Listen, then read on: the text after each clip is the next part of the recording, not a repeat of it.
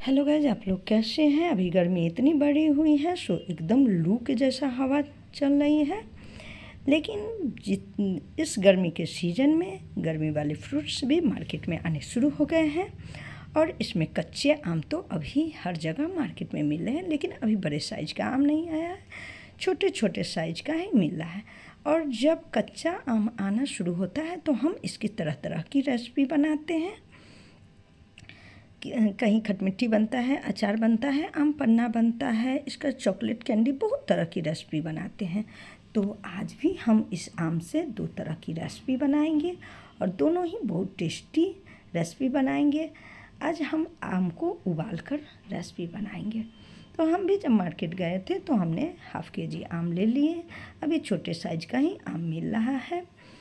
तो इसको हम अच्छी तरह से धो लिए। अब हम कुकर में उबलने के लिए डाल दिए। जब हमने चार सीटी लगाई तो देखिए कुछ कच्चे थे तो फिर से दो तीन सीटी और लगा दी। और अब देखिए इसका क्या हाल हो गया है। ये कुकर में ही फटफट सा गया और इसके पल्प निकल गए। तो हमने उस पल्प को निकाल कर छन्नी में अच्छी तरह से दबाकर उसमें से पानी निकाल लिए।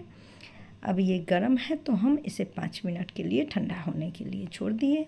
और फिर हम चम्मच की मदद से इसमें से सारे पल्प निकाल लिए हैं, क्योंकि आम जब बहुत ज़्यादा पक गया और ये फट गया तो हम इसको छील कर तो निकाल नहीं सकते थे तो कुछ पल्प मेरे बर्बाद हुए, लेकिन फिर भी हमने अच्छी तरह से और आम वैसे भी बहुत छोटे थे, अभी यहाँ पर बड़े बड़े आम नहीं मिल हैं। तो सारे पल्प को निकाल लिए और हम जो रेसिपी बनाएँगे इसका, वो खट्टी मीठी बहुत ही टेस्टी होगी और बच्चों के लिए का तो ये फेवरेट रेसिपी है। तो जिस तरह से हम बनाएँगे, आप लोग भी एक बार ज़रूर बनाइएगा। बच्चे लोग बहुत पसंद करेंगे तो अब हमें इसे ग्राइंड करना है। तो मिक्सी जार में हमने सारे पल्प को रख दिए, इसके साथ अब हम कुछ मसाले डालेंगे। तो हमने एक चम्मच सादे नमक, एक चम, हाफ़ चम्मच काले, काला नमक, हाफ़ चम्मच सौफ और हाफ़ चम्मच चाट मसाले दिए हैं। और मैंने एक कप के करीब पुदीने के पत्ते अच्छी तरह से धोकर और वो डाल दिए हैं। पुदीना का पत्ता हो तो ज़रूर डालिएगा। आम और पुदीने का टेस्ट बहुत ही अच्छा आता है। अब हम इसको खूब अच्छी तरह से ग्राइंड कर लेते हैं। इस टाइम हम इसमें पानी नहीं देते हैं तो बहुत ही अच्छा पेस्ट बनकर तैयार हो गया है। अब हम इसको निकाल लिए हैं। आप अगर ज़्यादा मीठा पसंद करते हो तो आप चीनी अपने हिसाब से दीजिएगा। हम मेरे, हमने जितना पल्प था उस हिसाब से एक कप चीनी सही था तो हमने डाल दिए। अब हम इसमें एक चम्मच भुने हुए जीरे का पाउडर मिलाते हैं तो जीरा बहुत महीन पेस्ट नहीं है, ये हमने थोड़ा सा दरदरा ही पीस लिए थे। इन सबको मिक्स कर लेते हैं और अब बहुत टेस्टी मिक्सचर बनकर तैयार हो गया है। अब हम इसे सर्व करते हैं। तो हमने एक गिलास में कुछ आइस क्यूब लिए, दो चम्मच हमने पल्प के आम पन्ना के पल्प को डाले। अब हम इसमें पानी दे रहे हैं। अगर आप अपने लिए बनाएँ तो इसमें कुछ पुदीने के पत्ते भी ऊपर से दें, लेकिन अगर हम बच्चे के लिए बनाते हैं तो वो तो पुदीने के पत्ते खाते नहीं हैं निकाल कर फेंक देते हैं। तो हमने इसमें थोड़ी सी काली नमक डाली। क्योंकि हमने पानी ऐड किए तो नमक का टेस्ट थोड़ा कम हो गया और इसमें हम गोंद कटीरा डालते हैं क्योंकि ठंडा में ये डालने से पेट बहुत ही ठंडा रहता है। आपके पास हो तो ज़रूर डालिए, नहीं तो जिया सीड्स या सब्जा सीड्स ये भी डाल।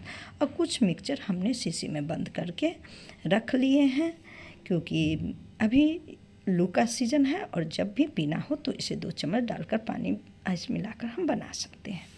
अब कुछ पल्प का हम दूसरी रेसिपी बनाते हैं तो हमने एक पैन में इसे डाल दिए हैं। अब इसको हम पकाएँगे। तो जब ये पक जाता है तो इसका कलर चेंज होने लगता है। छोटे छोटे से इसमें देख रहे हैं बबल्स आने शुरू हो जाते हैं और ये इसका चेंज कलर चेंज होने लगता है। तो आप जब देख लीजिएगा सो इसका कलर चेंज होने लगा और फिर जो हम इसमें चीनी दी थी तो वो साइड से पकड़ने लगता है पैन में। तो आप इसको उतार लीजिएगा। अब हम इसको एक थाल पर थोड़ा सा तेल लगाकर इसमें डाल दिए, लेकिन रात, शाम का टाइम था, हमने धूप नहीं लगाई।